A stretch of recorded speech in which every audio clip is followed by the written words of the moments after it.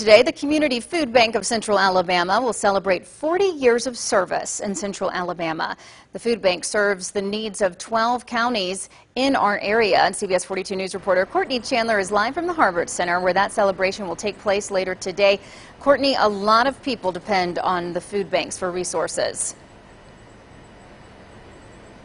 That's right, Lillian. The Food Bank of Central Alabama distributes 16 million meals across Central Alabama, and they need your help to continue the fight against hunger. September is Hunger Action Month, and the Community Food Bank of Alabama, uh, Central Alabama is challenging the public to start a food drive, volunteer, donate, or help spread the word.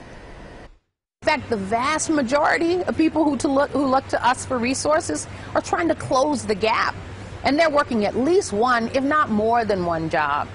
So I ask and urge, please be a part of helping people to get over that bridge to the other side.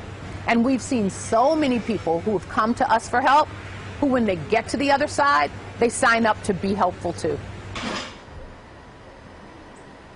And they're celebrating 40 years of service at the Harbert Center again today at 11:30. And this organization is a part of Feed America, which last year distributed over 6.6 billion meals to millions of people across America. Well, live in downtown Birmingham this morning, Courtney Chandler, CBS 42 News, local coverage you can count on.